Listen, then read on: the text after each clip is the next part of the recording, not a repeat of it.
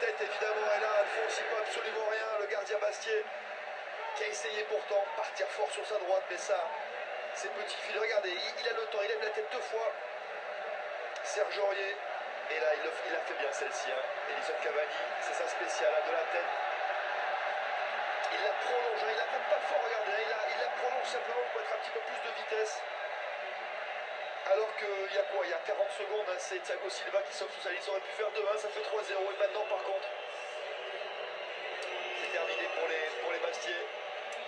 apóstolas